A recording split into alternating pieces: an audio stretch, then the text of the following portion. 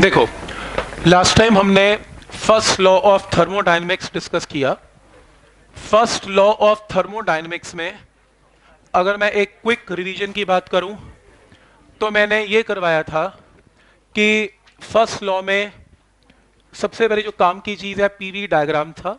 PV diagram indicator diagram है, जो आपको प्रेशर वॉल्यूम का रिलेशन बताता है। एक्सपेंशन है या कंप्रेशन है, ये भी बताता है। फिर मैंने बताया था, अगर आप एरिया निकालेंगे अंडर पीवी डायग्राम तो आपको अमाउंट ऑफ़ वर्क डन मिलेगा इन कंप्रेशन और इन एक्सपेंशन बात बंद करें प्लीज़ आयुष। ठीक? दूसरा स्टेप अगर एक्सपेंशन हो रहा है, मैंने बताया था एक्सपेंशन के अंदर बढ़ रहा है फिजिक्स में एक्सपेंशन के अंदर अगर वॉल्यूम बढ़ता है तो वर्क डन पॉजिटिव माना जाता है। कंप्रेशन होता है तो वर्क डन नेगेटिव माना जाता है। ठीक है? वर्क डन का इन जनरल फॉर्मूला था work done is equal to integration of P dV from V1 से V2 चाहे दुनिया का कोई प्रोसेस हो मैथमेटिकल वर्क डन कैलकुलेट करने का formula integration of P dV ही रहेगा। नेक्स्ट है, इसके अंदर अगर साइक्लिक प्रोसेस आता है तो एरिया इनसाइड अ साइकिल आपका अमाउंट ऑफ़ वर्क डन है, और डीयू की वैल्यू साइक्लिक प्रोसेस में क्या पुट की जाती है? ज़ीरो उसके बाद आता है आपका आइसोथर्मल प्रोसेस आइसोथर्मल प्रोसेस में अगर हम फ़र्स्ट लॉ लगाएँ तो साइक्लिक प्रोसेस में D U zero isothermal process के अंदर भी डी यू ज़ीरो ही रहता है। एडियाबैटिक प्रोसेस के अंदर डी क्यू ज़ीरो रहता है। उसके बाद हमने वर्क डन की वैल्यू कैलकुलेट की थी। हमने चार चीज़ें डिस्कस करनी थी। Equation of isothermal work done in isothermal equation of adiabatic work done in adiabatic equation of isothermal क्या थी? P V is a constant और वर्क डन वन मोल का आइसोथर्मल में क्या है? 2.303 R T log V two by V one क्या point clear है यहाँ तक? उसके बाद हमने इक्वेशन ऑफ़ एडियाबैटिक की थी। एडियाबैटिक की दो इक्वेशन याद करने को मैंने कहा था। पहली इक्वेशन क्या थी? PV raise to power gamma is a constant और दूसरी equation TV raise to power gamma minus one is a constant ठीक है, दो इक्वेशन हो गई। इसके बाद इक्वेशन ऑफ़ एडियाबैटिक ये P V raise to power gamma is a constant कहाँ से आया? इसको एक बार हम डिस्कस करेंगे। तो P V raise to power gamma is a constant के लिए आपको इक्वेशन कैसे बनी? ये सारी game first law of thermodynamics की ही है। फ़र्स्ट लॉ ऑफ़ थर्मोडायनेमिक्स में डी क्यू किसके इक्वल है? D U plus D W ये सबको समझ में आता है? क्योंकि इक्वेशन किसकी बननी है? एडियाबैटिक की बननी है। एडियाबैटिक में डी क्यू को क्या पुट करेंगे? ज़ीरो ये पॉइंट समझ में आता है? ज़ीरो डी यू और डी डब्ल्यू क्या होता है? P D V D U को वन मोल के लिए क्या लिखते हैं? वन सीवी डी टी बताया था मैंने जहाँ डी यू यूज़ होगा, वहाँ सीपी कभी यूज़ नहीं होगा वन सीवी डी टी ये भी स्टेप क्लियर है? तो इसको लेफ़्ट पे, इसको राइट पे क्वेश्चन नंबर वन यहीं छोड़ दो। आगे वन मोल के लिए P V equal to R T ये स्टेप भी क्लियर है? P V equal to R T एक काम करते हैं, इसको डिफ्रेंशिएट करते हैं विद रिस्पेक्ट टू टेम्परेचर कैसे? पी और वी दोनों चेंज होते हैं डायमेटिक में, कोई कांस्टेंट नहीं है। एक बार P constant differentiation of volume और एक बार V constant differentiation of pressure याद है? डिफरेंशिएशन में यू इनटू वी का फॉर्मूला किया था। Is equal to what R into R तो कांस्टेंट है। डीटी बाय डी क्योंकि डिफरेंशिएशन दोनों तरफ़ की होती है। तो D by D T left में D by D T right में। D T by D T क्या होता है? वन तो यहाँ से क्या बनेगा? डी टी एलसीएम लेके यहाँ पे ले आओ। ये तो वन हो जाएगा। तो आर डी टी ये क्या बनेगा? P D V V D P is equal to R D T D D D T D T cancel हो गया, ऐसे कह सकते हो। तो यहाँ से डी टी को एक तरफ़ रखो आर को इसके नीचे ले आओ तो डी टी की वैल्यू आ गई P D V V D P by R इस डी टी को उठाओ और उठा के यहाँ पुट कर दो। हीरा जो हमारी पुरानी इक्वेशन है। तो यहाँ से इक्वेशन नंबर टू को उठाओ और इक्वेशन नंबर वन में पुट कर दो। तो ये मैंने इक्वेशन नंबर वन में डी की जगह पुट किया। एलसीएम लो। एलसीएम लेके ये तो ऐसे ही रहेगा। R into P into D और आर ज़ीरो से मल्टीप्लाई होके ज़ीरो तो इसको ठीक तरह करके लिख दिया। इसे ओपन कर लो। ओपन करेंगे तो क्या आएगा? C V into P into D V C V into V into D P plus R P D V is equal to zero ये भी स्टेप क्लियर है। इसमें से और इसमें से जो अंडरलाइन किया हुआ है, इसमें से क्या कॉमन आ रहा है? पी डीवी कॉमन आ रहा है। तो क्या बचा? C V plus R C V plus R C V plus R को क्या पुट कर सकते हैं? C P C P minus C V is equal to R तो C V plus R is equal to C P आपके पास ये equation आ गई ठीक सिंपल कैलकुलेशन है। और लास्ट स्टेप है इसमें प्रूव करने के लिए, दोनों साइड्स को डिवाइड कर दो by C V into P into V से। C V into P into V से, ये तो ज़ीरो रहेगा। C V into P into V C V into P into V यहाँ से P से P कैंसल CV से CV कैंसल V से V कैंसल तो क्या बचा? CV by CV is gamma gamma into D V by V plus D P by P is equal to zero ठीक, ये स्टेट ये जो है इक्वेशन बन गई। और लास्ट है, दोनों साइड्स की इंटीग्रेशन कर दो। दोनों साइड्स की इंटीग्रेशन करेंगे तो यहाँ पे इंटीग्रेशन का सिंबल लगाना प्लीज़ यहाँ पे लगाना। ज़ीरो की इंटीग्रेशन शो करो। तो ज़ीरो की इंटीग्रेशन तो एक बार देखो जरा। गामा कांस्टेंट है वन बाई वी डी क्या होता है? Log V one by P D क्या होता है? लॉग पी और याद है कांस्टेंट की डिफ्रेंसिएशन ज़ीरो थी तो ज़ीरो की इंटीग्रेशन कांस्टेंट है। तो यहाँ पर ज़ीरो की इंटीग्रेशन के कांस्टेंट है। ये स्टेप भी क्लियर है। और आखिरी स्टेप देखें प्लीज़ लॉग की प्रॉपर्टी है गामा ऊपर चला गया तो log of V raise to power gamma plus log of P is equal to K log की नेक्स्ट प्रॉपर्टी है log of first term plus log of second term is log of first term into second term multiply कर दिया P into V raise to power gamma और log की last property है, सारे log use हो गए, इसमें जितनी भी प्रॉपर्टीज़ हैं, वो क्या? लॉग जब राइट साइड पे जाता है, हमने पहले भी डिस्कस किया, जो भी इसका बेस है, वो यहाँ पे आ जाएगा और जो ये नंबर होता है, वो ई e के ऊपर आ जाता है के तो क्या बनेगा? P V raise to power gamma is K E के ऊपर आ गया E raise to power K where E is a constant K is a constant and right hand side is a constant तो इक्वेशन प्रूव हो गई P V raise to power gamma is a constant क्या ये step समझ में आ रहा है यहाँ तक? कुछ नहीं किया मैथ्स है, बस इक्वेशन फ़र्स्ट लॉ लगाया गैस की इक्वेशन लगाई, दोनों को मर्ज किया और आंसर आता है कोई डाउट इसमें ठीक है? तो हमने कुल मिला के चार चीज़ें करनी है। आइसोथर्मल की इक्वेशन आइसोथर्मल का वर्क डन एडियाबैटिक की इक्वेशन कहाँ से बनी और एडियाबैटिक का वर्क डन चार चीज़ें हैं। Work done in adiabatic important NCERT के लिए भी। वर्क डन एड ये आते हैं आइसोथर्मल एडियाबैटिक एनसीआरटी में आते हैं, लेकिन इसके कंपटीशन के क्वेश्चन आप सोच भी नहीं सकते जहाँ तक ये बने हुए हैं और इतने ज़्यादा इतने ज़्यादा है कि 20 प्लस शीट्स तो मेरी अकेली की लिखी हुई शीट है, सिर्फ़ कंपटीशन की 20 शीट्स बहुत होती हैं, जो मैंने अभी लिखी हैं। और जिसके बेस पे मेरे को लगता है कि मेंस और नीट का कोई क्वेश्चन इधर से उधर हो नहीं सकता, ये मेरी पूरी गारंटी है। आप कोई भी क्वेश्चन करेंगे मतलब उसमें हर टाइप को मैंने टच किया हुआ है पर टच करते करते भी मेरे को लगता है कि दो लेक्चर कम से कम लगने चाहिए, उसको सिर्फ़ दिखाने दिखाने में कि देखो ये वैरायटी है। उसके बाद आपकी कहानी स्टार्ट होगी, मैं आपको होमवर्क दूँगा चार शीट्स का, आप उस पर फिर ट्राई करेंगे उसे। और फिर मैं आपको मेन्स और नीट का पेपर दूँगा नेक्स्ट पांचवी छहवीं शीट फिर आप उस पर ट्राई करके देखेंगे, फिर आपको आएगा थर्मोडायनेमिक्स आपको लगेगा कि मैं कुछ कर पा रहा हूँ। बाकी ऑनलाइन टेस्ट जो है, दो तीन वो अलग हैं इसके।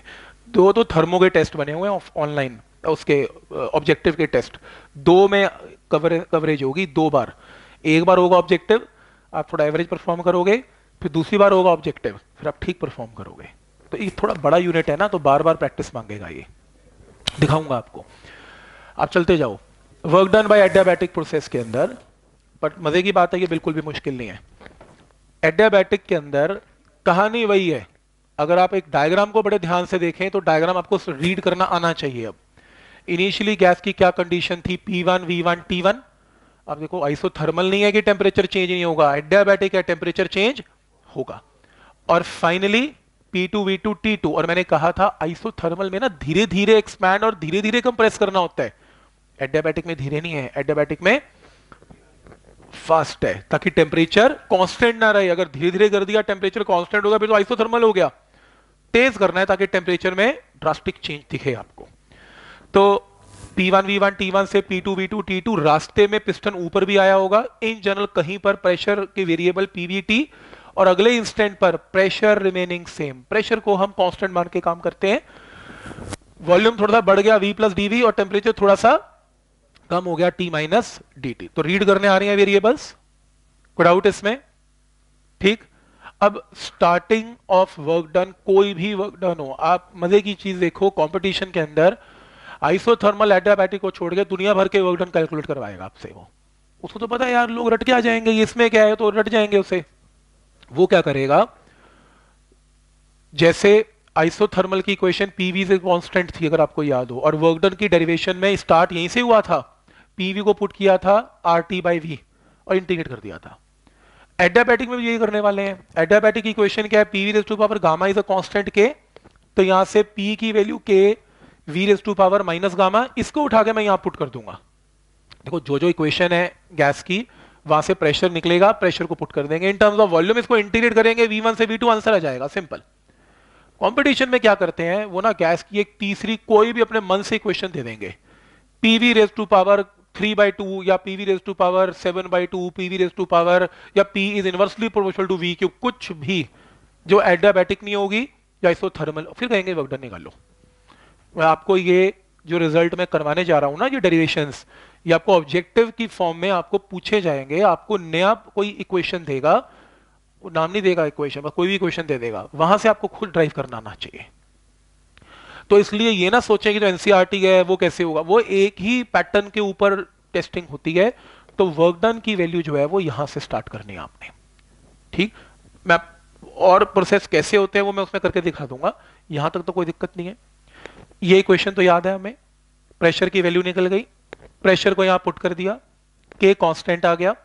एडियाबैटिक वन मोल के लिए काम हो रहा है। V raise to power minus gamma की इंटीग्रेशन क्या होती है? V raise to power minus gamma plus one minus gamma plus one एक पावर बढ़ जाती है। तो ये इक्वेशन भी समझ में आती है। माइनस गामा प्लस वन क्या होता है? वन माइनस गामा और ये क्या बन गया? V raise to power one minus gamma K constant है। वी वन से वी टू एक बार वी टू की जगह अपर लिमिट एक बार वी वन की जगह लोअर लिमिट पुट करेंगे। तो ये देखो, v की जगह v2 v की जगह एक बार v1 क्या ये एडियाबैटिक का वर्कडन क्लियर है यहाँ तक? कोई डाउट इसमें। ये फाइनल रिप्रेजेंटेशन नहीं है। इसके लिए हम क्या करेंगे? गामा जो होता है वो सीपी बाय सीवी होता है। क्या गामा लेस देन वन हो सकता है? क्यों? क्योंकि C P is always greater than C V तो C P by C V gamma हमेशा वन से बड़ा होता है। तो आपको लगता नहीं कि टर्म नेगेटिव चल रही है? तो हमने क्या किया? इसको घुमा दिया। ये गामा माइनस वन कर दिया। तो फिर इसको भी घुमा दिया। माइनस कॉमन लगा के वी वन वाली टर्म पहले वी टू वाली टर्म बाद में। कोई डाउट इसमें। ध्यान आगे। क्या पॉइंट क्लियर है यहाँ तक? तो इसको स्वैप किया, इसको भी स्वैप किया। कोई फ़र्क नहीं। ध्यान आगे। और फाइनली ये स्टेप इंपॉर्टेंट है। के कांस्टेंट को ब्रैकेट के अंदर ले गए। देखो कांस्टेंट की फॉर्म में थोड़ा आंसर निकलेगा। के कांस्टेंट को दोनों से मल्टीप्लाई कर दिया। अब चेक करो, यहाँ पर भी के यहाँ पर भी के आ गया। अब क्योंकि एडियाबैटिक की इक्वेशन क्या है? P V raise to power gamma is a constant यानी कि P1 V1 raise to power gamma is equal to P2 V2 raise to power gamma is a constant ये भी तो लिखा जा सकता है। कोई डाउट इसमें। तो एक काम करते हैं, जहाँ पर वन चल रहा है V1 वहाँ पर के को रिप्लेस किया P one V one raise to power gamma और जहाँ पर वी टू चल रहा है, वहाँ पर के की जगह पुट कर लिया P two V two raise to power gamma तो जहाँ वन वाली टर्म चल रही है, वहाँ P one V one gamma जहाँ के टू वाली टर्म चल रही है, वहाँ के की जगह P two V two raise to power gamma को डाउट इसमें. कोई फ़र्क नहीं है. के की जो मर्ज़ी वैल्यू पुट करूँ मैं. चाहे ये पुट करूँ, चाहे ये पुट करूँ पुट करूँ मेरी मर्ज़ी है. तो एक जगह मैंने वन वाली, एक वाली टू वाली, इससे क्या फ़ायदा हुआ? V one raise to power gamma gamma into V one raise to power one minus gamma इसको ओपन करें। तो ओपन करके इसको ऐसे लिखा ही जा सकता है, कोई दिक्कत नहीं है। ठीक है ना? वन माइनस गामा को ऐसे ब्रेक करके लिख सकते हैं। तो ये टर्म इससे क्या हो गई? कैंसल तो सिर्फ़ और सिर्फ़ क्या बच गया? यहाँ मल्टीप्लाई करके वी वन और इन्हें मल्टीप्लाई करके क्या बच गया? वी टू आंसर आ गया। तो वन मोल के लिए एडियाबैटिक का वर्क डन का formula is equal to P one V one minus P two V two divided by gamma minus one कोई डाउट इसमें? हो जाएगा प्रूव यहाँ तक। और वन मोल के लिए ये भी तो पुट कर सकते हैं P V is equal to R T तो R T one minus R T two तो क्या ये स्टेप क्लियर है? ठीक? डाउट है? डाउट है? क्या ये पॉइंट क्लियर है यहाँ तक? तो आपके पास वन मोल का ये वर्क डन है वन का ये भी वर्क डन है। ये आपको याद रखना है और सबसे कमाल की चीज़ ये याद रखनी है। वर्क डन के अंदर ये फ़र्स्ट टर्म यानी कि इनिशियल टर्म है और ये फाइनल है। Initial values minus final values होती हैं।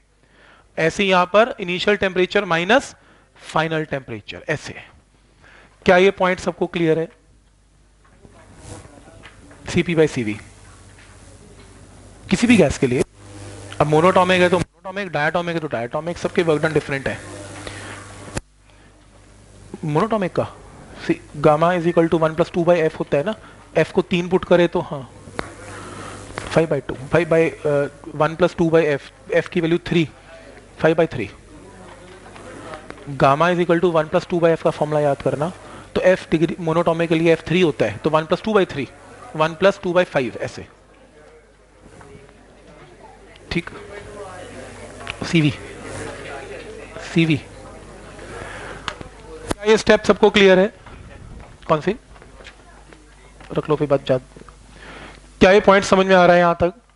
वर्क डन हो जाएगा यहाँ तक क्लियर कितने मोल्स का वर्क डन आया? वन क्वेश्चन आएगा वन ग्राम का वर्क डन निकाल, एक ग्राम का। इसको कैपिटल एम से डिवाइड करेंगे तो वन ग्राम का वर्क डन भी आ जाएगा। तो हमने चार चीज़ें करनी थी। Equation of isothermal work done isothermal equation of adiabatic work done adiabatic चार चीज़ें हो गई। अब ये बड़ी इंपॉर्टेंट चीज़ है जो मैं करवाने जा रहा हूँ। इसके ऊपर बहुत ऑब्जेक्टिव आते हैं। और मैं आपसे कुछ क्वेश्चन पूछूँगा। अगर आप उसका आंसर दे दें तो बस समझो कि आपको गेम समझ में आ गई। देखते हैं। पहले मैं समझा दूँ रूल क्या है गेम का, फिर एक बार गेम खेल के देखते हैं। ठीक? देखो क्वेश्चन बड़ा सिंपल है। क्वेश्चन ये है कि आपके पास एक गैस है।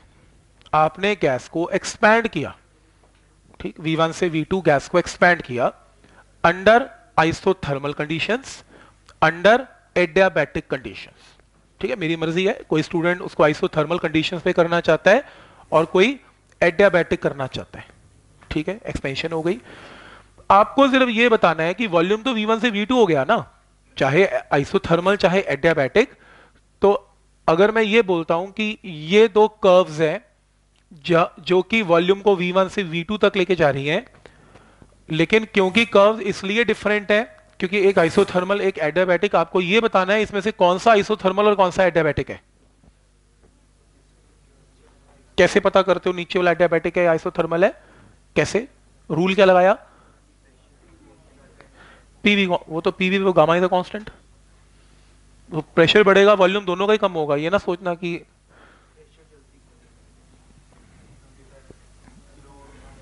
स्लोप स्लोप से देखते हो? ओ स्लो स्लो करके देखते हो। अगर तुम स्लो की जगह स्लोप बोल देते ना तो मैं बहुत हैरान होता और क्योंकि वो बिल्कुल सही आंसर था। तो मैं आपको स्लोप से करके दिखाता हूँ कि एग्जैक्टली क्या है। मैं बड़ा हैरान हुआ, मैं बड़ी जल्दी कर गया यार वो। देखो तो एक मिनट के लिए ये स्लोप से ही आंसर आएगा इसका। मैं एक रिज़ल्ट बताना चाहता हूँ आपको। रिज़ल्ट आया कैसे और कैसे आप डायग्राम को देखते ही बता दोगे कि कौन आइसोथर्मल कौन एडियाबैटिक इतना तो सोचने की ज़रूरत नहीं पड़ेगी। ध्यान से देखो कैसे। एक, अगर वन मोल के लिए आइसोथर्मल की बात करते हैं। ध्यान आगे प्लीज़ आइसोथर्मल की बात करते हैं तो आइसोथर्मल की इक्वेशन बोलो क्या होती है? पीवी इज़ अ कांस्टेंट और अगर हम इसे डिफ्रेंशिएट करें, एक बार P constant differentiation of V, एक बार V constant differentiation of P, और कांस्टेंट की डिफरेंशिएशन इज़ ज़ीरो तो यहाँ से क्रॉस मल्टीप्लाई करके डीपी बाई डीवी की वैल्यू क्या आएगी? माइनस पी बाई वी ठीक है डन हो गया। तो यहाँ पर आपने इसको सॉल्व किया, आपने dP बाई डीवी निकाल लिया। अब एक चीज़ बताओ कि इसका सिग्निफिकेंस है क्या? अगर कोई भी कर्व आपको गिवन है प्रेशर और वॉल्यूम की, और आप इसका छोटा सा पोर्शन लें, बहुत विच इज़ स्ट्रेट तो ये टर्म क्या होगी? डीपी और ये वाली टर्म क्या होती है? डीवी और डीपी बाय डीवी आपको क्या देगी? इस पॉइंट की स्लोप की वैल्यू यानी कि आप टेंजेंट ड्रॉ करेंगे, जैसे काइनेमेटिक्स में करते थे, यहाँ की स्लोप आ जाएगी। बस काइनेमेटिक्स में D Y by D X use करते हैं, इसमें वाई एक्सिस में पी है एक्स एक्सिस में वी है तो DP by D V slope होगी। राइट क्लियर है यहाँ तक? इस पॉइंट की स्लोप और स्लोप चेंज होती जा रही है तो किसी भी पॉइंट की slope is given by DP by DV तो यहाँ पर मैंने क्या लिखा? डीपी बाय डीवी क्या है? स्लोप ऑफ़ आइसोथर्मल प्रोसेस तो स्लोप ऑफ़ आइसोथर्मल प्रोसेस किसके equal I minus P divided by V क्या ये क्वेश्चन नंबर थ्री क्लियर है सबको? अभी आंसर नहीं आया। रिज़ल्ट निकाल के रखा हमने। कोई डाउट पीछे क्लियर है तो स्लोप आइसोथर्मल की क्या होगी? माइनस पी बाई वी अब किसी ने कहा, सर एडियाबैटिक भी करके दिखाओ। एडियाबैटिक कर लो। एडियाबैटिक की इक्वेशन लिखो। PV raise to power gamma is a constant लिख दिया। ध्यान से देखना है। स्टेप ध्यान से देखने हैं। इन टू वी का फॉर्मूला लगाने जा रहा हूँ। एक बार first term constant differentiation of V raise to power gamma क्या होगी? पावर नीचे gamma V raise to power एक पावर कम gamma minus one into further differentiation से क्या आएगा? डीवी ये स्टेप समझ में आया? मतलब पी तो कांस्टेंट है, क्योंकि एक बार पी कांस्टेंट एक बार raise to power gamma constant तो फिर से रिपीट करता हूँ तो पी को तो ऐसे ही लिख लो। पावर नीचे उतारो गामा रेज टू पावर एक पावर कम gamma minus one into DV अब प्लस अब उल्टा करो रेज टू पावर गामा को बाहर रख लो। Differentiation of first term is DP और कांस्टेंट की डिफ्रेंसिएशन इज़ ज़ीरो कोई ये कह रहा था, सर, आपने विद रिस्पेक्ट टू क्या किया? जो मर्ज़ी कर लो, वो ज़ीरो से आके कैंसिल ही हो जाने वाला है. क्या आपको पहला स्टेप समझ में आया? क्योंकि इसका स्टेप ही पहला मेन है, और तो कुछ है ही नहीं इसमें। तो इन टू वी का डिफ्रेंसिएशन का फॉर्मूला लग गया। कोई डाउट इसमें। पीछे क्लियर है सबको यहाँ तक? और ठीक है। तो नेक्स्ट है, इस टर्म को राइट right पे लेके जाते हैं तो minus V raise to power gamma into DP इसमें कोई दिक्कत नहीं है। नेक्स्ट है गामा पी डीवी इकट्ठे एक तरफ़ और ये वाली टर्म इससे डिवाइड कर देते हैं। तो क्या आएगा? V raise to power gamma minus one इसके नीचे आ गया, कोई डाउट मैथ्स का रूल है, दो टर्म डिवाइड हो रही है तो पावर सब्ट्रैक्ट होगी।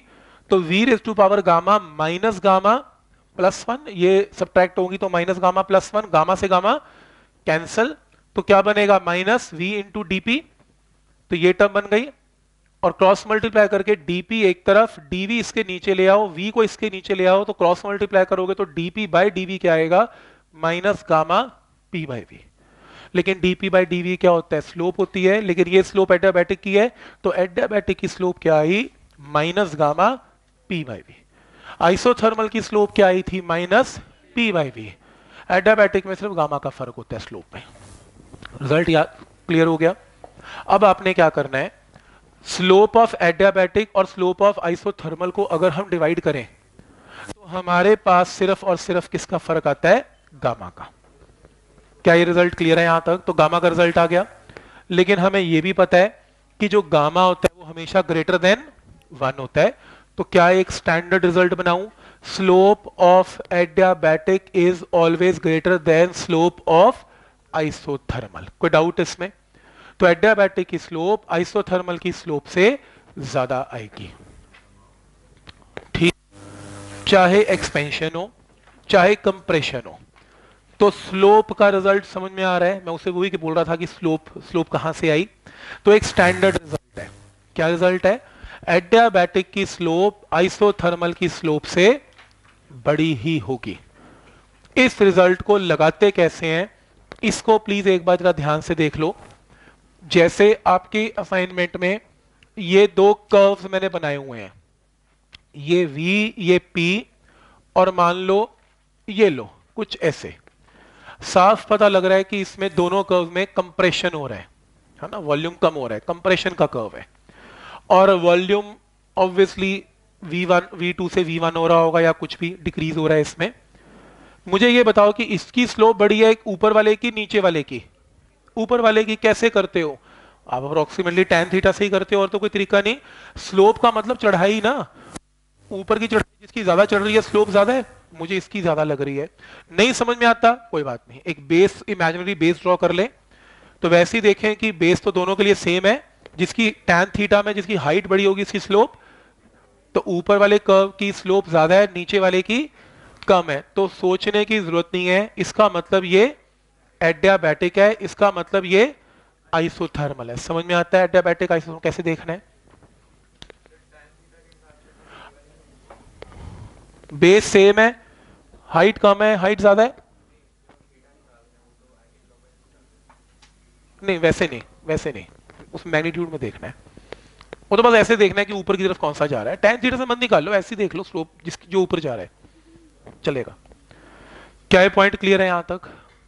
अच्छा ये बताओ, इधर देख के बताओ, जब हम एक्सपेंशन की बात कर रहे हैं, ध्यान आगे बात नहीं करनी बीच में, जब हम एक्सपेंशन की बात कर रहे हैं पी और वी की, ये लो, ये एक्सपेंशन हो रही है, ठीक है? अब किसकी स्लोप ज़्यादा, नीचे वाले की, ऊपर वाले की? भाई, नीचे वाला देखो ना, कितना नीचे उतर गया, देखो ना, इसका बेस तो सेम है, लेकिन इसकी हाइट ज़्यादा है, नीचे उतरने की तो ऊपर वाले की, नीचे वाले की स्लोप ज़्यादा है, ऊपर वाले की कम है तो ये एडियाबैटिक है, ये आइसोथर्मल है। क्या ये पहचान हो रही है? ऐसे नहीं याद करना कि ऊपर वाला हमेशा एडियाबैटिक होता है। ये तो बहुत ही बेकार रिज़ल्ट। अगर यही करना होता तो फिर इतना बड़ा मैं क्यों करता यार, मैं तो ऐसे ही बोल देता एडियाबैटिक ऊपर वाला होता है। तो ये नहीं होगा। जिसकी स्लोप ज़्यादा है, वो एडियाबैटिक होगा। कोई डाउट इसमें? तो स्लोप किसकी ज़्यादा है? ऊपर वाले की। तो एडियाबैटिक कंप्रेशन के अंदर, एडियाबैटिक की ऊपर वाला एडियाबैटिक है, नीचे वाला आइसोथर्मल है। एक्सपेंशन के अंदर इसकी स्लोप ज़्यादा है तो ये एडियाबैटिक है और ये आइसोथर्मल है। कोई डाउट इसमें? ठीक है यहाँ तक? अच्छा अब ये बताओ, अगर मैं आपको ये डायग्राम देता हूँ और आप पहचान लेते हैं कि एडियाबैटिक कौन आइसोथर्मल कौन तो किसका वर्क डन ज़्यादा है? जिसका एरिया कवर्ड ज़्यादा होगा। किसका ज़्यादा? एडियाबैटिक या आइसोथर्मल एडियाबैटिक के अंडर एरिया ज़्यादा होगा तो वर्क डन एडियाबैटिक का ज़्यादा होगा as compare to work done in isothermal क्योंकि ये ऊपर है, ये नीचे, जो कर्व ऊपर होगा, उसका वर्क डन ज़्यादा होगा। तो जब कंप्रेशन हो रहा होगा गैस का एडियाबैटिक और आइसोथर्मल तो एडियाबैटिक का वर्क डन आइसोथर्मल से ज़्यादा करना पड़ेगा। लेकिन जब एक्सपेंशन हो रहा होगा, अब कौन सा कर्व ऊपर है आइसोथर्मल तो वर्क डन किसका ज़्यादा है? आइसोथर्मल का वर्क डन एडियाबैटिक से ज़्यादा होगा। तो मतलब आपको क्वेश्चन आएँगे किसका वर्क डन ज़्यादा है? कर्व देख के। जो कर्व ऊपर होगा, उसका वर्क डन ज़्यादा है। अब ऊपर कौन होगा, वो डिसाइड करेगी स्लोप स्लोप डिसाइड करेगी? अब स्लोप जिसकी ज़्यादा होगी वर्कडन ज़्यादा होगा? नहीं। स्लोप नीचे वाले की देखो ज़्यादा है इसमें। तो इसका तो वर्कडन कम है। जो कर्व ऊपर होगा, उसका एरिया ऑटोमेटिकली ज़्यादा होगा। तो ऊपर नीचे देखना है। लेकिन स्लोप का कॉन्सेप्ट आपको ये, इसमें हेल्प करेगा कि कौन एडियाबैटिक और कौन आइसोथर्मल है। क्या ये पॉइंट क्लियर है यहाँ तक? कोई डाउट इसमें? ठीक? ओके और इसी के अंदर ये एक लास्ट बहुत छोटा सा टॉपिक है। इसको खत्म करके मैं आपको एक दो क्वेश्चन पूछता हूँ। स्लोप के ऊपर। मैं देखना चाहता हूँ कि आप कितना की आंसर दे पाते हैं। क्वेश्चन आया हुआ और जिस जिस बंदे ने क्वेश्चन बनाया, कमाल का क्वेश्चन बनाया है। और आप भी वो कमाल देखना, क्या कमाल है। ठीक? अभी दूँगा, दो मिनट रुको। Find bulk modulus of isothermal and adiabatic ठीक है बल्क मॉडलस निकालना ये बल्क मॉडलस बीच में कैसे आ गया यार? छोड़ तो आए थे प्रॉपर्टीज़ ऑफ़ मैटर में, फिर फिर उठ के आ गया। क्योंकि जहाँ गैसेस पे काम होगा ना वहाँ कंप्रेशन और एक्सपेंशन होंगी। और गैसेस का कंप्रेशन और एक्सपेंशन कौन कंट्रोल करता है? बल्क मॉडुलस तो सिर्फ़ थर्मो की बात नहीं है। बल्क मॉडुलस अपना रोल इक्वली प्ले करेगा। और सच बताऊँ बल्क मॉडल्स की ज़्यादा एप्लीकेशन थर्मोडाइनमिक्स में है। इलास्टिसिटी में तो यंग्स मॉडल्स की एप्लीकेशन थी बिकॉज़ सॉलिड पे काम हो रहा था। बीच बीच में आता रहेगा। तो बल्क मॉडल्स के लिए ज़्यादा कुछ करने की ज़रूरत नहीं है।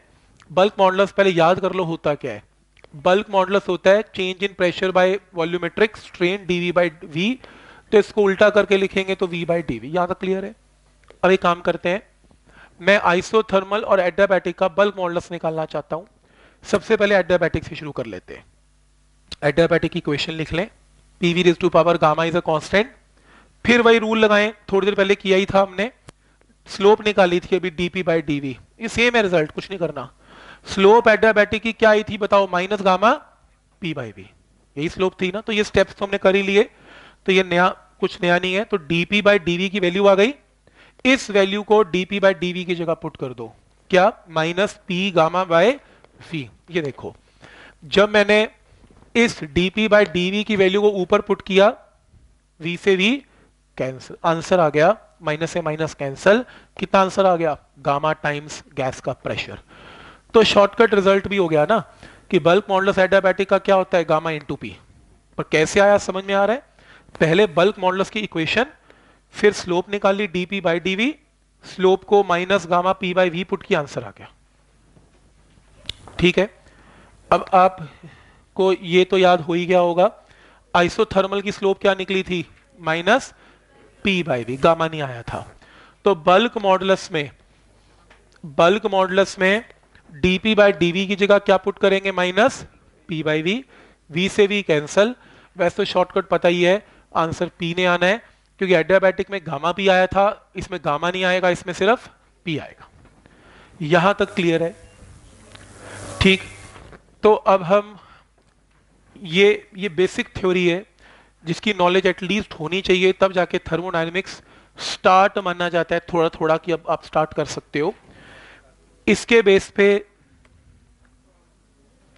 हम लास्ट टाइम कुछ न्यूमेरिकल्स भी कर रहे थे।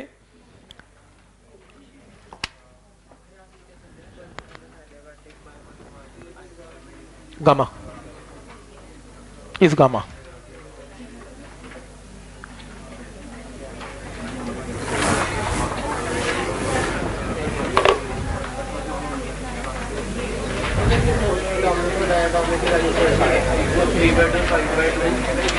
three by two R, five by two R.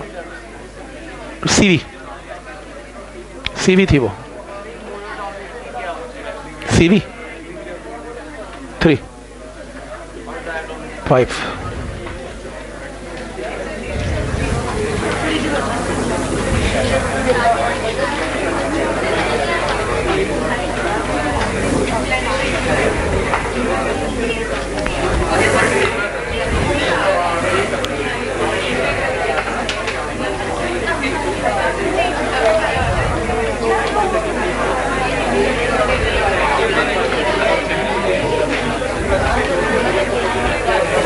Okay मैं आपको स्लोप्स के ऊपर एक क्वेश्चन पूछूँगा, जो क्वेश्चन तो बहुत है, और आप रूल्स लगाने में भी दिक्कत नहीं है। आपको ये मालूम तो पड़ ही चुका है कि कौन किसकी स्लोप ज़्यादा, किसकी स्लोप कम। इसके ऊपर एक क्वेश्चन आया हुआ है कॉम्पिटिशन में।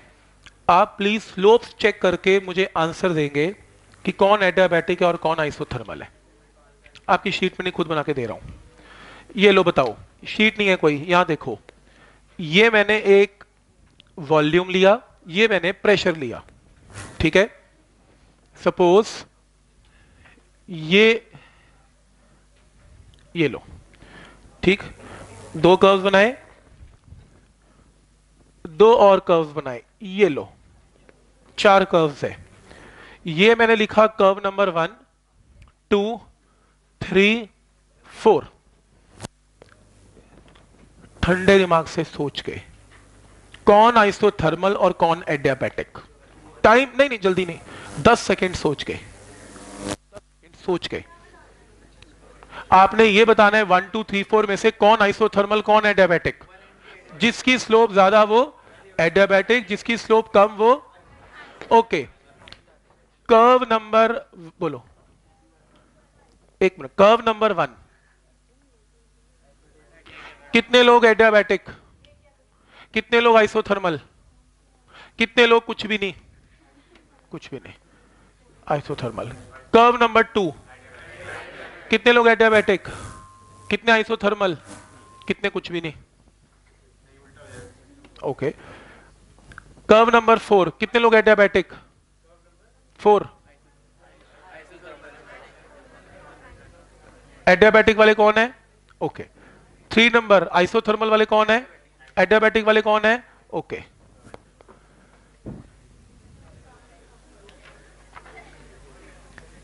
curve number one and two कुछ भी नहीं है. ना आइसोथर्मल ना एडियाबैटिक कैसे? आइसोथर्मल एडियाबैटिक है ही नहीं। ना कर्व नंबर वन ना कर्व नंबर टू देखते रिजेक्ट हो गए क्यों? क्योंकि प्रेशर वॉल्यूम दोनों कम हो रहे हैं। और P into V the constant P V raise to power gamma is the constant isothermal adiabatic equation है। चाहे आइसोथर्मल चाहे एडियाबैटिक अगर प्रेशर बढ़ेगा तो वॉल्यूम कम होगा। एक बढ़ेगा, एक कम होगा। इसमें चेक करो। कर्व नीचे गिर रहा है। प्रेशर नीचे गिर रहा है। वॉल्यूम कंप्रेस हो रहा है। ऐसा कभी होता है? प्रेशर भी कम हो रहा है वॉल्यूम भी कम हो रहा है। ये तो आइसोथर्मल एडियाबैटिक में होता ही नहीं। क्या ये बात समझ में आ रही है? क्योंकि P इंटू वी क्या होता है? कांस्टेंट अगर प्रेशर कम होता है तो वॉल्यूम को बढ़ना ही पड़ेगा। यही रूल है ना? और चाहे एडियाबैटिक है तो भी रूल तो सेम ही है। इसीलिए उन्होंने जान के ये क्वेश्चन पूछा और बहुत लोगों ने एडियाबैटिक आइसोथर्मल मार्क कर दिया और घर आके बोल दिया पेपर बहुत बढ़िया हुआ। वैसे आपको एक और चीज़ बताता हूँ मैं। जब भी कंपटीशन का पेपर होता है ना, उनका मतलब बनाने का स्टाइल ऐसा ज़बरदस्त है ना। सोच पढ़ लेते हैं स्टूडेंट की, कहाँ गिरेगा। हर ऑप्शन बना के देंगे। जो आपको मतलब जो आपको गलत भी लगती होगी, वो भी मिलेगी, सही वाली भी मिलेगी। और घर आके कोई नहीं कहता कि मेरा पेपर तो बेकार हुआ है। मैंने इतने अटैम्प्ट किए और मेरे को लगता है मेरे बिल्कुल ठीक है। और आंसर भी आते हैं। वो तो जब रात को कीज आती है ना, तब ऊपर नीचे हो जाती है गेम सारी। तो कहने का मतलब कि पेपर सभी का ठीक होता है बट थोड़ी गड़बड़ ऐसे हो जाती है क्योंकि ऐसे ऑप्शन बना के छोड़ते हैं वो।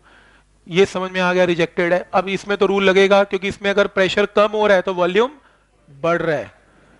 तो इसके अंदर ऊपर इसकी स्लोप ज़्यादा है, इसकी स्लोप कम है। तो नीचे वाला एडियाबैटिक है, ऊपर वाला, समझ में आता है यहाँ तक? बहुत बढ़िया। ठीक है। मैं आपको एक और क्वेश्चन देता हूँ। लो लिखो मतलब इसका वर्कडन निकालना है आपको, जो मैं देने जा रहा हूँ आपको। ठीक? मैं आपको दो क्वेश्चन दूँगा, राधर। दो क्वेश्चन दूँगा। और ये दोनों आए हुए क्वेश्चंस हैं। अभी आप पुराने पेपर चेक करेंगे, आपको मिल जाएँगे। आपको वर्कडन निकालना है। ग्राफ से वर्कडन निकाल लोगे क्या होता है? Area under the curve is amount of work done लिखो। ये आपके सामने वॉल्यूम है, ये प्रेशर है, ठीक? ये एक, दो और तीन, कुछ इस तरीके से। Such that this is V not this is two V not two V not and this is three V not मतलब ये थ्री वी नॉट है, ये टू वी नॉट है, ये वी नॉट है, और प्रेशर के अंदर this is P not and this is two P not यार, आपको ना net amount of work done निकालना है, इसमें क्या होगा? Net amount of work done निकाल दो आंसर क्या है, बोलो। आंसर बस एक। पी नॉट वी नॉट नहीं है। Net amount of work done पूरे इसका साइकिल का।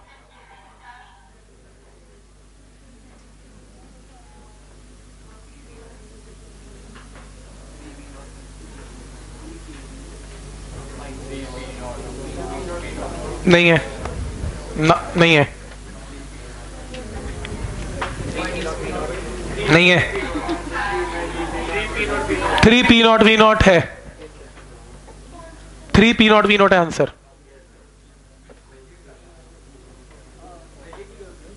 सही है। Three P not V not है। हाँ पॉजिटिव पॉजिटिव है। ठीक है? देखो, सबसे पहले काम करते हैं, नीचे वाला इस कर्व को देख लें, सिर्फ़ एक एक करके, एक एक, दो, तीन। तीन वर्कडन निकालें ऐड करें। तीन वर्कडन में इसका वर्कडन क्या होगा? एरिया इसके नीचे वाला। इसके अंडर एरिया अंडर एरिया क्या होगा? ये कितना है? वी नॉट ये कितना पी नॉट तो इसका वर्कडन कितना है? P not into V not with क्योंकि कंप्रेशन हो रहा है, बताया था कंप्रेशन का वर्कडन पॉजिटिव नहीं होता नेगेटिव होता है। क्लियर है? नेक्स्ट है। अब अगर इसको दो मिनट छोड़ दें, अब इसका वर्क डन कैलकुलेट करते हैं, इस लाइन का। इसका तो वर्क डन नहीं होगा बिकॉज़ वॉल्यूम कांस्टेंट है, नहीं होता। ज़ीरो अब इसका लेते हैं यहाँ से यहाँ तक का। अब यहाँ से यहाँ तक का एरिया पूरे का पूरा एरिया अब पूरे का पूरा एरिया क्या होगा? ये कितना है? टू पी नॉट टोटल ये कितना है? थ्री पी नॉट हाँ सॉरी ये two three V not minus V not two V not है और ये टू पी नॉट है. तो टोटल क्या हुआ? फोर पॉजिटिव की नेगेटिव क्योंकि राइट की तरफ़ है, यानी कि एक्सपेंशन है. Net amount of work done क्या होगा? इन्हें ऐड करो. Three P not V not कोई डाउट इसमें? मैं तो पहले ही कहा P not V not option में हो पेपर खराब हुआ. अब पेपर में आंसर आ गया? ठीक, एक और सैंपल देखेंगे? लो, एक और सैंपल लो। मज़े की बात है, ये लोग पिछले से पिछले साल नीट का क्वेश्चन है। किसी एंगल से नीट का तो लगता नहीं मुझे। ठीक मेंस से कम तो नहीं है ये। ना ना ये वाला। हाँ तो ऐसे क्वेश्चन आने हैं, और भी आएँगे, अभी है, इतना भी, सारे क्वेश्चन ऐसे नहीं होते। हैं, अभी लेवल उठेगा एकदम। आपको लगेगा कि हाँ यार, इतनी आसानी से नंबर नहीं लिए जा सकते थोड़ा थोड़ा पढ़ पढ़ के जाना पड़ेगा। देखो नेक्स्ट क्वेश्चन है, ये तो कमाल का ही क्वेश्चन पूछा उन्होंने net amount of work done का। मुश्किल नहीं है, लेकिन नीट वालों के लिए मुझे लगता है थोड़ा लेंथी है लंबा हो सकता है। फिर से प्रेशर एंड वॉल्यूम लिख लिया। इसके अंदर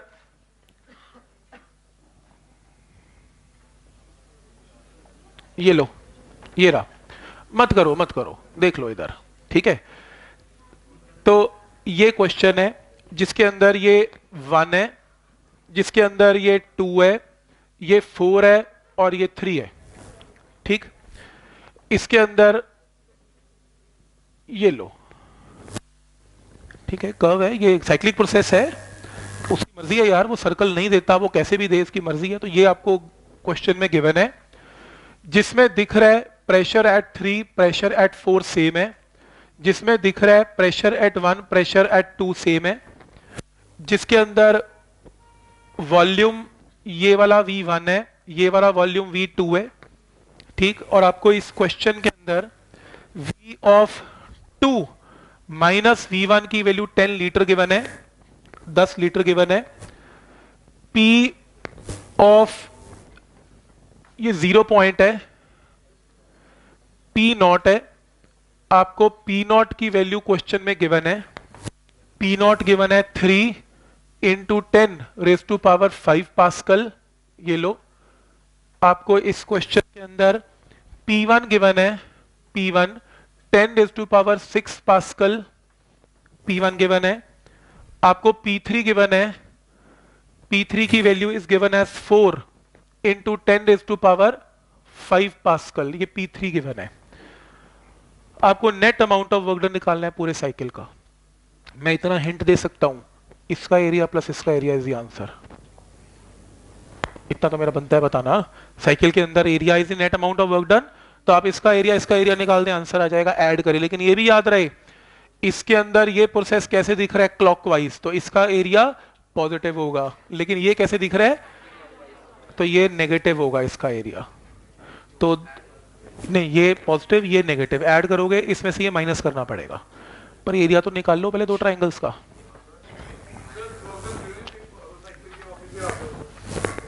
ज़ीरो नहीं होगा इसमें. दो साइकिल्स है ना? एक ऊपर वाला, एक नीचे वाला. इकट्ठा मत करो. ना, ये अलग है, ये अलग है. यही तो बात है. उसने यही तो नहीं दिया. वी थ्री वी फोर नहीं दिया. वो निकालने के लिए कहता है, बच्चा मैथ लगा लेगा, निकाल लेगा. वी पी वन क्यों?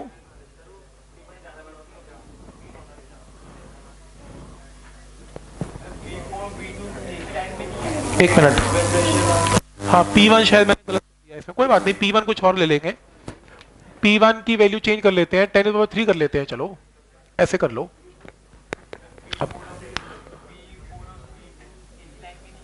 नहीं है एक लाइन में। ये छोटा है, ये बड़ा है। एक ही लाइन में होता, फिर तो क्वेश्चन नहीं हो गया था सॉल्व यार।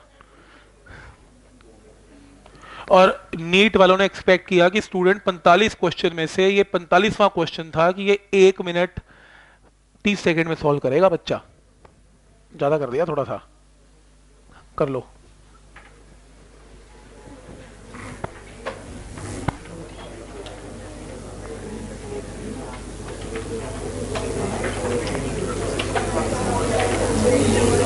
नहीं। अलग अलग एरिया निकलेगा प्रॉपर कर लो आंसर बता दो क्या है अपने को आंसर बता दो, ये आंसर है जी, बस खत्म। तुम्हारा क्वेश्चन तो जायज़ है V3 और V4 के बीच में जब तक रिलेशन नहीं आएगा ना आंसर नहीं आ सकता, बात पक्की है। बस वो बता दो रिलेशन आएगा कैसे? V3 V4 का रिलेशन कैसे आएगा?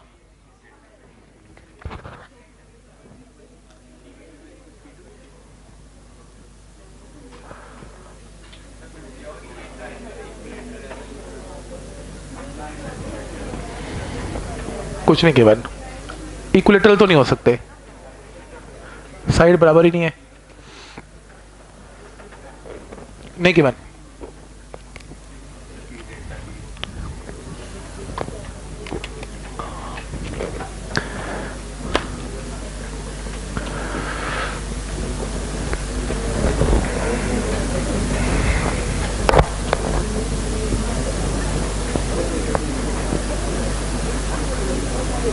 और अगर आपको ऐसा क्वेश्चन आता है ना तो one of the easiest question होगा थर्मो का, वैसे आपकी नॉलेज के लिए बता दूँ मैं। ये पहले दो तीन सबसे आसान क्वेश्चनों में से होगा। मतलब आपको और फाइट करनी पड़ेगी, इससे ऊपर क्वेश्चन अभी स्टार्ट नहीं हुई थर्मो मेरे हिसाब से। अभी करूँगा स्टार्ट कंपटीशन की। एनसीआरटी खत्म हो चुकी है। एनसीआरटी ओके है। उसमें कोई दिक्कत नहीं। एनसीआरटी में खत्म है बस। बोलो जी। हाँ वो तो एरिया नहीं पॉजिटिव आएगा यार। ये ट्राइंगल बड़ा दिख रहा है मुझे, छोटा है। क्लॉकवाइज का एरिया बड़ा आएगा ना। ओके कोई बात नहीं। मेरे को सिर्फ़ एक चीज़ का आंसर अगर आप दे देते हो। मैं मान लूँगा कि चलो अभी तो आप स्टार्ट हुए हो। आफ्टर वन वीक प्रैक्टिस बहुत सारे क्वेश्चन पचास सौ क्वेश्चन जब दिखाऊँगा, इतना ब्रेन डेवलप हो जाएगा कि कैसे सोचना है। बस ये बता दो कि आपको इधर ध्यान आगे?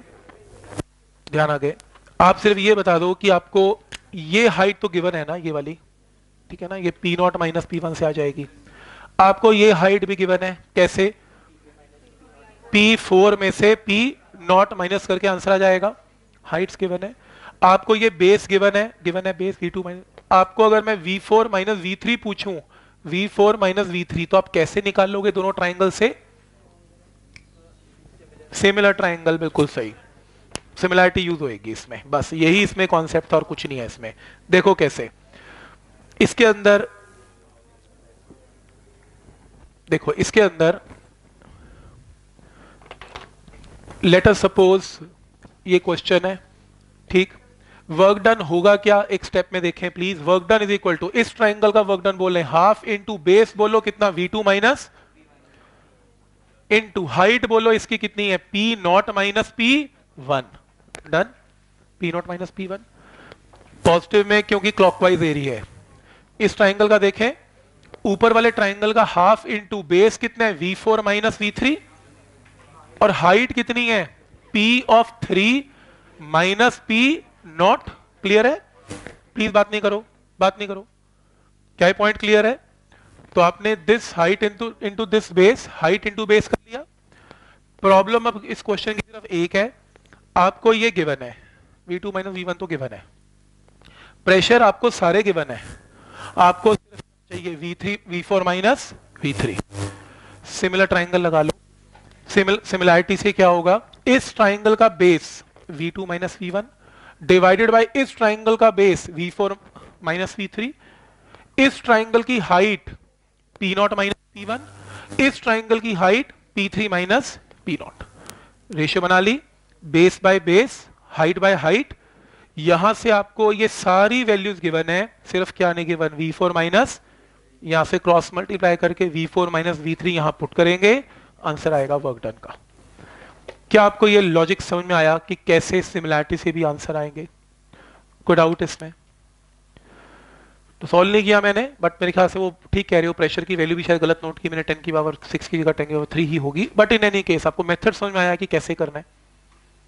ठीक। तो ये भी मैंने करवा दिया। इसके अंदर और कॉम्प्लिकेशंस भी हैं और बहुत तरीके के प्रोसेसेस अभी और भी हैं पेंडिंग आइसोथर्मल के अलावा। ओके मैं वापस अपने सीक्वेंस में आऊँगा दो मिनट अभी पहले। मैंने थर्मोडाइनमिक्स थ्योरी खत्म की 160 number sheet 161 sheet number 161 last time हम कर रहे थे।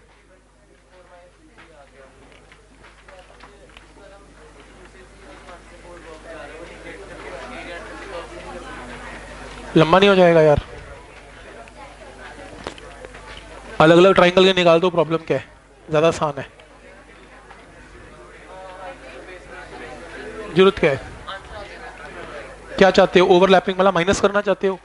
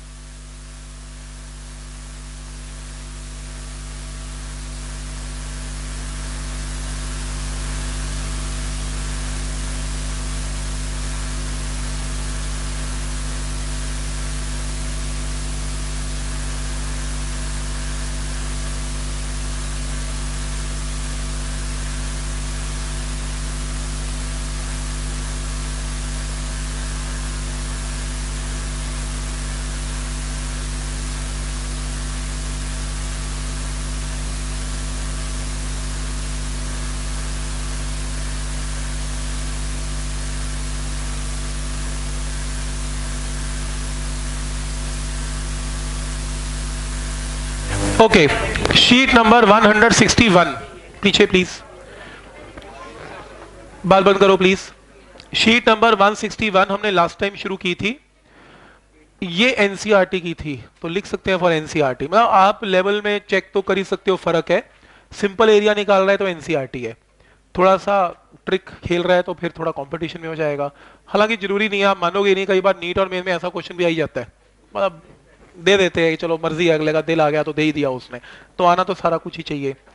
ये हमने कैलकुलेट कर लिया था, ये भी क्वेश्चन हमने कर लिया था, ये भी क्वेश्चन हमने किया था लास्ट टाइम ये लास्ट क्वेश्चन था हमारा, हमने यहाँ से करना है। देखो प्लीज़ बात बंद करो प्लीज़ इस क्वेश्चन के अंदर gas is suddenly compressed to half of its original volume वैसे मैंने क्वेश्चन आगे अगर ना देखूँ तो सडनली वाला केस तो एडियाबैटिक का ही होता है। स्लोली वाला केस आइसोथर्मल का होता है, जो मुझे याद आ रहा है। तो सडनली है कैलकुलेट राइज इन टेम्परेचर लो। आइसोथर्मल तो हो ही नहीं सकता, क्योंकि राइज इन टेम्परेचर पूछ लिया तो एडियाबैटिक ही होगा। और वैसे भी गामा दे दिया। गामा आप तो 100 परसेंट श्योर है कि गामा की जो एप्लीकेशन है वो एडियाबैटिक में ही है। तो आपको टेम्परेचर निकालना है। तो आपको क्या गिवन है? वॉल्यूम का रिलेशन गिवन है टेम्परेचर निकालना है। तो आप इसमें फॉर्मूला क्या यूज़ करेंगे? टीवी वाला। टेम्परेचर और वॉल्यूम तो T V raise to power gamma is a constant आपको इनिशियल टेम्परेचर गिवन है गामा गिवन है. इनिशियल वॉल्यूम वी और फाइनल हाफ़ हो गया वी बाई टू तो T V raise to power gamma minus one is a constant तो T two हमें चाहिए टी वन हमें पता है cross multiply volume initially V था वी बाई टू हो गया. तो ये टू बच गया. टू का अंडर रूट ले लेना 1.414 मल्टीप्लाई करके फाइनल टेम्परेचर केल्विन में डिग्री सेल्सियस में लेके आओगे तो ये रहा. आपको टेम्परेचर फाइनल नहीं निकालना, आपको राइज इन टेम्परेचर निकालना है। तो फाइनल और इनिशियल टेम्परेचर को माइनस करना पड़ेगा तो राइज इन टेम्परेचर आएगा। क्या आपको ये मेथड समझ में आता है? कैसे इक्वेशन अप्लाई करनी है? जैसे आप केमिस्ट्री में आइसोथर्मल तो अप्लाई करते ही होंगे, ऐसे ही एडियाबैटिक है। सेम है। ना बने तो ऐसे ही छोड़ना पड़ेगा रेस टू पावर में।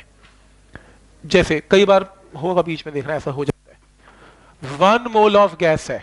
टेम्परेचर आपको गिवन है एक्सपैंड आइसोथर्मली देखो प्रोसेस जानना बहुत ज़रूरी है आइसोथर्मल या adiabatic isothermal adiabatic until volume is doubled तो टेम्परेचर कितना है? 127 का 400 केल्विन वॉल्यूम को क्या कर दिया? डबल यानी कि V से 2V amount of work done and heat absorbed क्योंकि आइसोथर्मल है वन मोल के लिए वर्क डन क्या होगा? 2.303 RT log of V2 two by V isothermal है ना? तो आइसोथर्मल में वर्क डन की वैल्यू टेम्परेचर कितना है? 400 केल्विन है। और वॉल्यूम कितना हो गया? V से 2V ये तो शायद केमिस्ट्री के अंदर भी करते होंगे वर्क डन तो V से V कैंसिल तो क्या आ गया? Log two log two to the base ten याद करना है। ये शायद आपको याद भी होगा। Point three zero one zero standard है। लॉग टू की फॉर्म में ही ज़्यादातर न्यूमेरिकल आते हैं। ताकि लॉग टेबल देख लेना पड़े आपको। लॉग टू याद करना है। Point three zero one zero multiply करके जूल में आंसर निकाल लेना। अब क्या निकालना है? हीट एब्जॉर्ब भी निकालना है। वर्क डन आ गया। हीट एब्जॉर्ब निकालने डी क्यू फ़र्स्ट लॉ क्या कहता है? D Q is D U plus D W बात नहीं प्लीज़ देखो फ़र्स्ट लॉ में D Q is D U plus D W क्योंकि आइसोथर्मल है। आइसोथर्मल डी यू इज़ तो जो डी डब्ल्यू होगा वही डी क्यू होगा। आंसर विल बी सेम तो मेथड समझ में आ रहा है कि कैसे आइसोथर्मल का वर्क डन निकलेगा? जैसे one mole of an ideal gas फिर वन मोल है। Is subjected to adiabatic expansion बता दिया उसने एडियाबैटिक है। एक्सपेंशन हो रही है।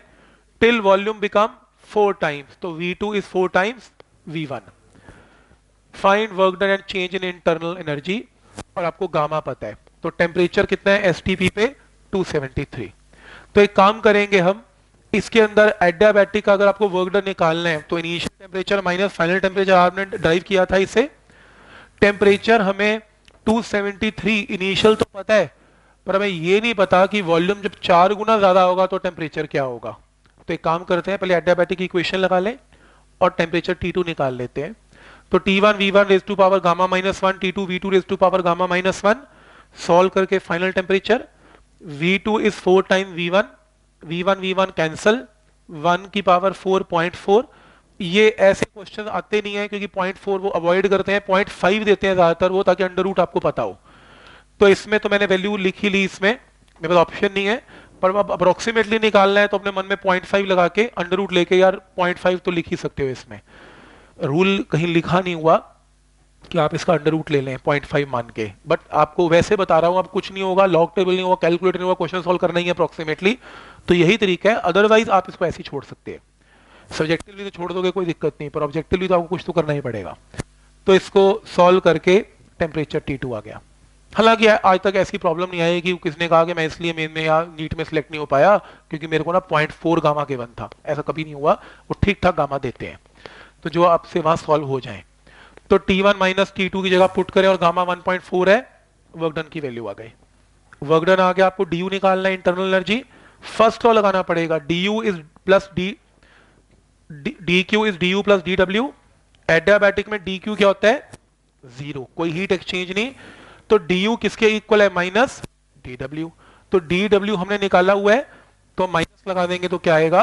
डी यू आ जाएगा माइनस में आएगा।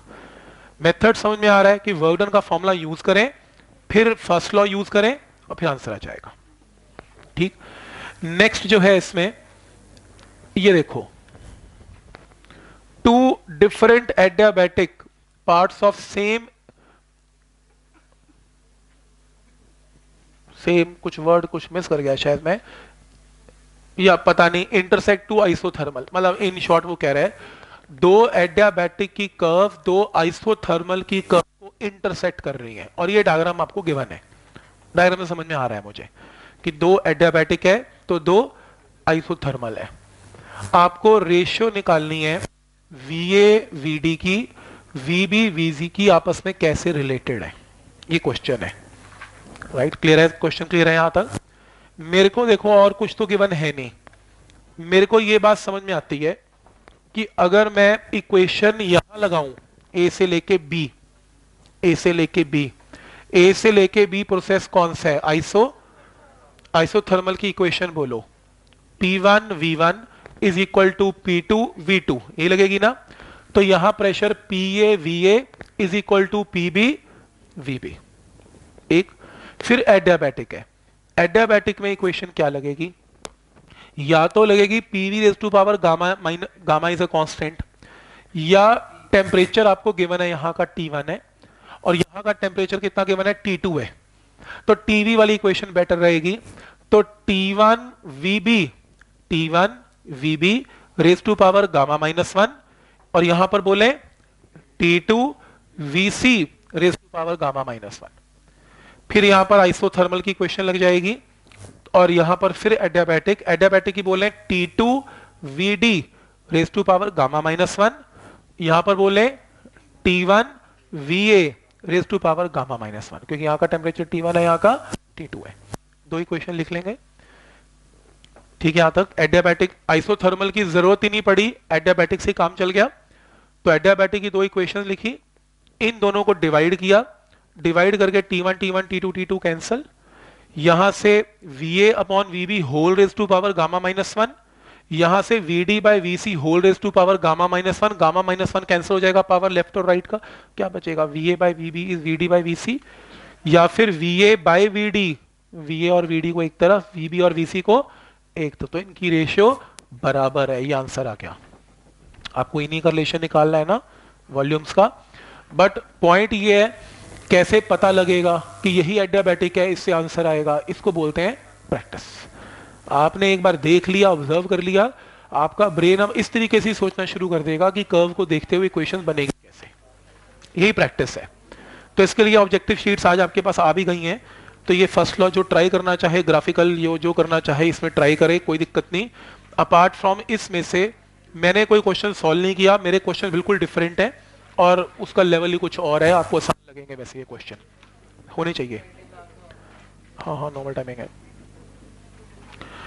मैं तो कल भी सोच रहा हूँ एक्स्ट्रा क्लास लगाने की, सुबह। ऑब्जेक्टिव की।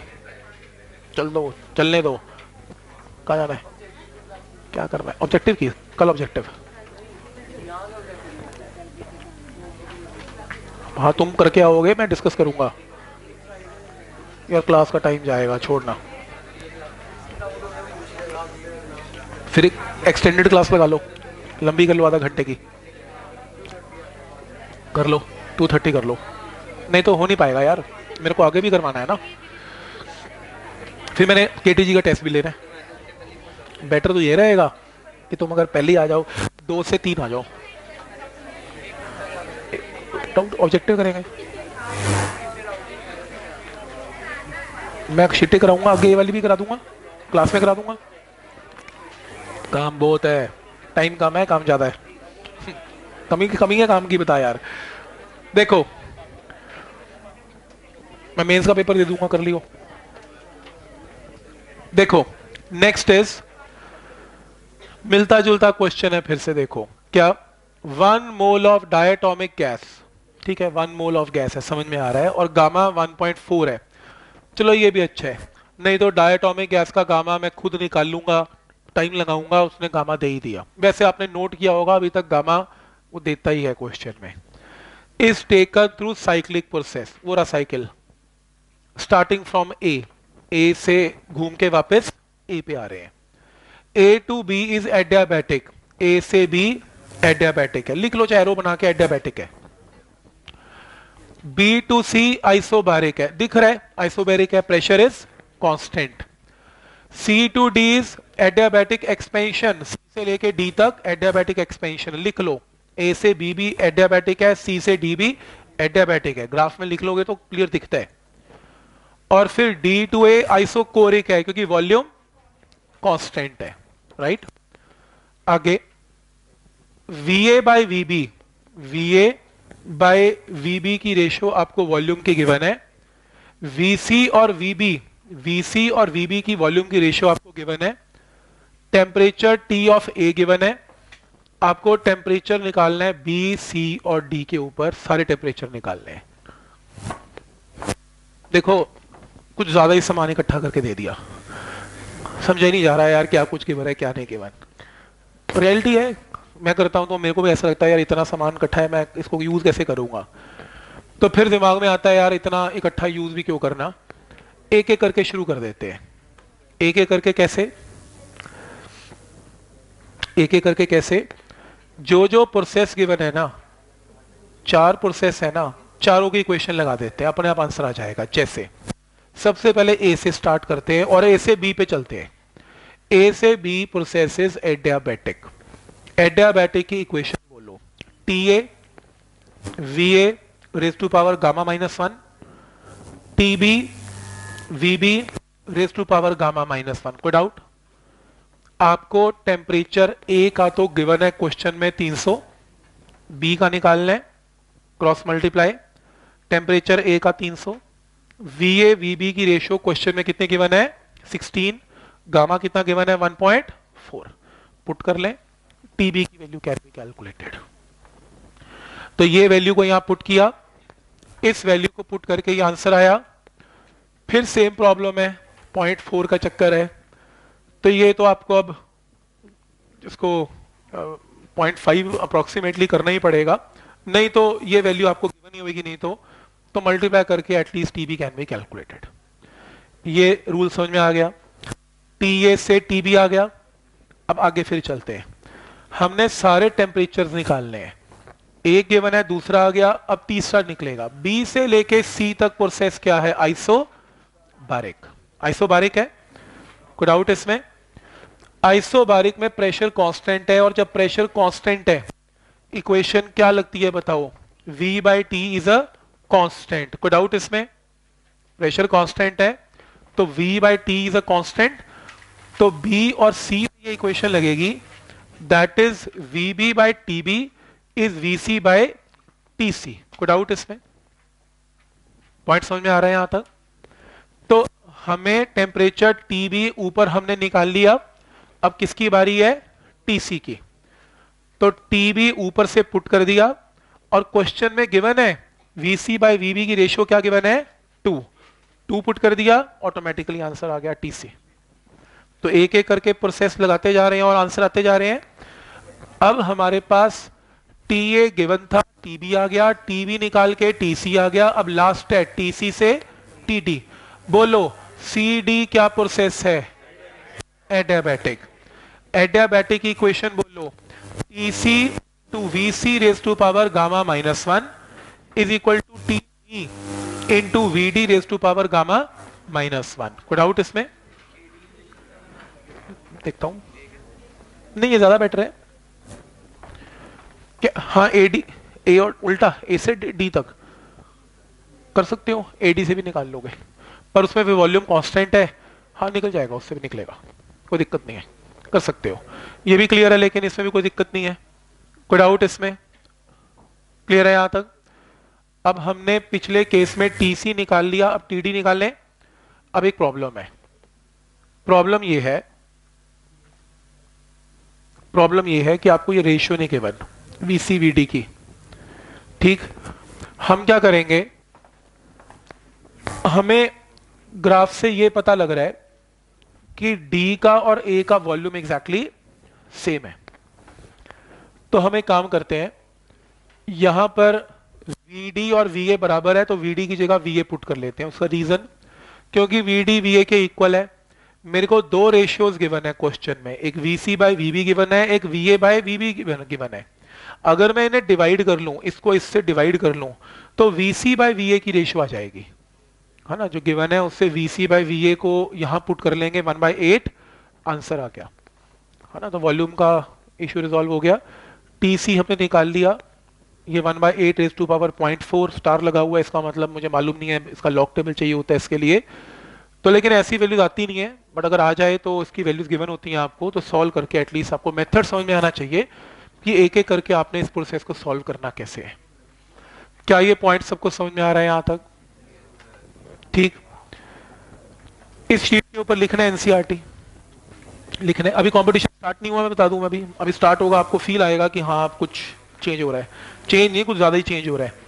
क्योंकि उसमें एडियाबैटिक आइसोमर देता कहाँ है? और अपने ही बना के देता है, अपने आप कुछ नया प्रोसेस ये आपका शीट नंबर 162 है। ठीक? और ये भी, इसके ऊपर भी एनसीआरटी लिखें प्लीज़ बेसिक्स है देखो एनसीआरटी का हम ये ना समझा करें कि बड़े खुश हो जाते हैं कि एनसीआरटी कंपटीशन नहीं है। ऐसा मतलब ये नहीं होता। आप पेपर देखेंगे, आपको ना ऐसे क्वेश्चन दिखेंगे कंपटीशन के अंदर भी। एनसीआरटी का मतलब कंपटीशन तो है ही है।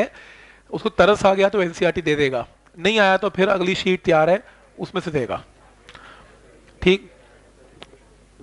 और अगर नहीं आया तो मेरे पास एक और भी शीट तैयार है इसके बाद। उससे बाहर तो नहीं आ सकता है तो बात गारंटेड है। उसके ऊपर तो कुछ है भी नहीं। देखो इस बेसिक शीट के अंदर क्या गिवन है? एक बार क्वेश्चन पढ़ें प्लीज़ एक ग्राम वाटर का गिवन है 100 डिग्री सेल्सियस पे गिवन है. किसमें कन्वर्ट कर लिया? स्टीम में, यानी कि स्टेट ऑफ़ मैटर चेंज है. सेम टेम्परेचर है. अगर वॉल्यूम स्टीम का गिवन है find change in internal energy of a system आपको ऐसा नहीं लगता ऐसा क्वेश्चन किया हुआ है हमने, कि जब स्टेट ऑफ़ मैटर चेंज होता है तो मैंने आपको एक पॉइंट स्पेशली बताया था टेम्परेचर कभी चेंज नहीं होता. फिर भी इसके अंदर डी यू नॉन ज़ीरो होता है डी यू एग्जिस्ट करेगा। जबकि हमने एक रूल किया हुआ है, अगर गैस का टेम्परेचर चेंज नहीं होगा ना तो डी यू क्या रहेगा? ज़ीरो पर स्टेट ऑफ़ मैटर में डी यू कभी भी ज़ीरो नहीं रहता। तो आपको इसमें क्या लगाना होता है? फ़र्स्ट लॉ ऑफ़ थर्मो लेकिन उससे पहले एक काम करना पड़ेगा। आपको वाटर का मास गिवन है केजी में कन्वर्ट किया। आपको लेटेंट हीट गिवन है, कितनी? Two two five six joule per gram joule के साथ ग्राम नहीं सूट करते, ना केजी सूट करता है तो सब कुछ केजी में कन्वर्ट किया। फिर डेंस आपको प्रेशर गिवन है इसमें वन एटमोस्फेयर इसके इक्वल है। Volume of steam centimetre cube में गिवन है मीटर क्यूब में कन्वर्ट किया स्टीम का वॉल्यूम वाटर का वॉल्यूम नहीं गिवन वाटर का मास गिवन है। वाटर की डेंसिटी ऐसा इसे डिवाइड करेंगे तो वाटर का वॉल्यूम आ गया। अब इस क्वेश्चन के अंदर स्टेट ऑफ़ मैटर चेंज हो रही है और फ़र्स्ट लॉ हमने सीखा था थ्योरी के अंदर भी। अगर हम फ़र्स्ट लॉ लगाएँ तो स्टेट ऑफ़ मैटर चेंज करने के लिए हीट रिक्वायर्ड क्या है? एम एल डी यू निकालना है। P into DV volume change में क्या आएगा? स्टीम का वॉल्यूम बड़ा है वाटर तो स्टीम का वॉल्यूम माइनस वाटर का वॉल्यूम क्या स्टेप क्लियर है? आपको इसमें डी यू निकालना है। एक तरफ़, बाकी टर्म्स एक तरफ़ मास पता है वाटर का लेटेंट हीट पता है प्रेशर पता है वॉल्यूम ऑफ़ स्टीम पता है वॉल्यूम ऑफ़ वाटर पता है। माइनस करके डी यू जूल्स में कैन बी कैलकुलेटेड मेथड समझ में आ रहा है कि जब स्टेट ऑफ़ मैटर चेंज होगा और डी यू पूछेगा तो apply first law of thermodynamics कोई डाउट इसमें? इसके अंदर volume of steam produced by one gram of water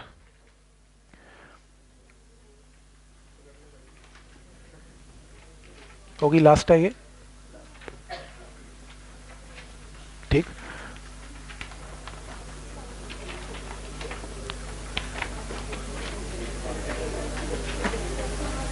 देखो, फिर एक बार देखते हैं। Volume of steam produce by one gram of water आप मानोगे नहीं, आपको इस टाइप की प्रॉब्लम कंपटीशन के अंदर बहुत आराम से दिखेंगी, क्योंकि उनको मालूम है कि ज़्यादातर लोग जब स्टेट जब टेम्परेचर सेम है, याद करके आए होते हैं डी यू ज़ीरो करना है। ये पहला ऐसा एग्ज़ाम्पल है जिसमें टेम्परेचर सेम है स्टेट ऑफ़ मैटर चेंज है, फिर भी डी यू ज़ीरो नहीं है। तो इसके अंदर volume of steam produce by one gram of water at 100 degree Celsius is given calculate change in internal energy during state change ये तो सेम वैसा ही क्वेश्चन है। अभी किया आपने? बिल्कुल ही सेम यार सेम क्वेश्चन है। मास ऑफ़ वाटर गिवन है वॉल्यूम का वॉल्यूम की value can be calculated CGS में। फाइनल वॉल्यूम स्टीम का पता है चेंज इन वॉल्यूम आ गया डी क्यू आ गया सेम है यार। तो ये प्लीज़ होमवर्क लिखेंगे बिल्कुल सेम है, इसको करने का फ़ायदा नहीं है एग्जैक्टली सेम है। ड्यू निकालना, क्या करना है? सेम है। हाँ ये सही है क्वेश्चन क्या मज़ा फ्लो बन रहा है यार, एकदम, देख, चौके पे चौका लग रहा है, चलने दे। अगली बार देख, तेरा नहीं, अगली बार का लेवल तो सही है यार, थर्मो का। अगली बार तो मज़ा आएगा। बहुत मज़ा आएगा। कैलकुलस यूज़ करेंगे इसमें, सही तरीके से। देखो। ध्यान आगे प्लीज़ ध्यान आगे। ये क्वेश्चन जान के करवाना चाहता हूँ, क्योंकि इसमें गलती होने का चांस बहुत ज़्यादा है, बहुत बहुत हाई है, अगर ये क्वेश्चन आएगा। आज की डेट में गलती होगा आपसे, क्योंकि इसमें प्लस माइनस का थोड़ा सा चक्कर है। देखो, क्योंकि हमें ना जितने भी क्वेश्चन किए अभी तक, वो ना वाटर स्टीम के ही किए हैं, बस स्टीम ही बनती है हमेशा। वो कहता है कि यार ज़रूरत होना है कि स्टीम ही बनेगी। क्वेश्चन स्टीम पे थोड़ा आएगा। वो कह रहा है ज़ीरो डिग्री सेल्सियस पे नॉर्मल एटमोस्फेरिक प्रेशर है। Volume of one gram of water increases from one centimetre cube to one point zero nine one centimetre cube on freezing वो कह रहा है, मैं तो फ्रीज करवाऊँगा। स्टेट ऑफ़ मैटर चेंज करवाऊँगा, लेकिन स्टीम नहीं बनाऊँगा। क्या करूँगा? फ्रीज करवाऊँगा। अब मेरे ये बात समझ में आती है कि अगर तो देखो स्टीम बनानी है गर्म पानी से तो पानी को हीट देनी पड़ेगी। और अगर पानी से बर्फ़ बनानी है तो पानी में से हीट निकालनी पड़ेगी। निकालने में माइनस यूज़ करते हैं और देने में पॉजिटिव यही रूल है ना? माइनस नहीं भूलना। वो यही कह रहा है कि अब इंटरनल एनर्जी डी यू निकाल लो इसका। अब डी क्यू की वैल्यू के अंदर हम एम एल यूज़ करते हैं। कि इतनी हीट हमने निकाल ली पानी में से, पर ये माइनस में चलेगी, क्योंकि इसमें से हमने हीट सिस्टम में से बाहर निकाल ली, ताकि पानी आइस में कन्वर्ट हो जाए। तो मास पता है ग्राम में लेटेंट हीट ऑफ़ फ्रीजिंग पता है 80 कैलोरी पर ग्राम है तो इतनी हीट माइनस एटी निकाल ली। और वर्क डन क्या किया? पीडीवी प्रेशर गिवन है नॉर्मल और वॉल्यूम चेंज हमें पता है। तो इसको सॉल्व करके आपके पास वर्क डन की वैल्यू आ गई। ये न्यूटन पर मीटर स्क्वायर है, ये मीटर क्यूब है तो आंसर जूल में आएगा। पर ऊपर क्योंकि कैलरी चल रहा है तो 4.2 या 4.18 से डिवाइड करके आंसर कैलोरी में कन्वर्ट करना पड़ेगा। तो डी क्यू आ गया, आपके पास वर्कडन आ गया। अल्टीमेटली आपको क्या करना पड़ेगा? आपको लगाना तो फ़र्स्ट लॉ ही पड़ेगा ये रहा। फ़र्स्ट लॉ में ड्यू निकालना है, बस एक ही स्टेप है, बाकी तो सब सही है। जो हीट है इसमें 80 नहीं पुट करना माइनस 80 अगर ये स्टीम में कन्वर्जन होता तो हीट देनी पड़ती. इसलिए यहाँ पर प्लस में टर्म थी, लेकिन इसमें माइनस में ये डिफरेंस समझ में आ रहा है? क्योंकि अगर आपने यहाँ 80 लगा दिया तो 80 में से आप इसे माइनस करके गलत आंसर निकाला होगे समझ में आ रहा है यहाँ तक? तो जब भी स्टेट ऑफ़ मैटर चेंज करने का क्वेश्चन आएगा, अगर वाटर टू स्टीम आएगा, सारा कुछ सेम है. उसमें डी क्यू पॉजिटिव है इसमें डी क्यू नेगेटिव है बस। बा, बाकी सब कोई दिक्कत नहीं इसमें। ठीक है यहाँ तक। ये रूल समझ में आ रहा है? हाँ हाँ बस एक मिनट और लूँगा कहने की ज़रूरत नहीं मैं ही थक गया। ठीक है यहाँ तक। हाँ हाँ फिर तो और भी थकान फील हो रही होगी थोड़ी। क्या टाइम हुआ है? फोर्टी हुए अभी सिर्फ़? अच्छा। फिफ्टी। चलो ठीक है ब्रेक भी चाहिए होगी यार दस मिनट की तो। ठीक है, कोई बात नहीं, यहाँ से कंटिन्यू करते हैं, लेकिन एक और चीज़ सुन लो सुन लो सुन लो। जाते हुए सुन लो सुन लो। मंडे को दो से तीन मंडे को दो से तीन मैं एक्स्ट्रा क्लास लूँगा। तो आप लोग ऑब्जेक्टिव्स जो आएँगे वो एक्स्ट्रा क्लास में ही करेंगे मंडे को। और नॉर्मल लेक्चर जो चलेगा वो तो चलेगा ही। जो मैंने शीट्स दी हैं, ये काम, जो डाउट्स वाला काम है, दो से तीन करूँगा। फिर जिसने केमिस्ट्री की ट्यूशन जाना है केमिस्ट्री की ट्यूशन जाए और वापस फिजिक्स की ट्यूशन पे आ जाएगा। मतलब नॉर्मल बैचेस तो लगेंगे, दो से तीन ऑब्जेक्टिव की एक्स्ट्रा क्लास लगेगी इसमें।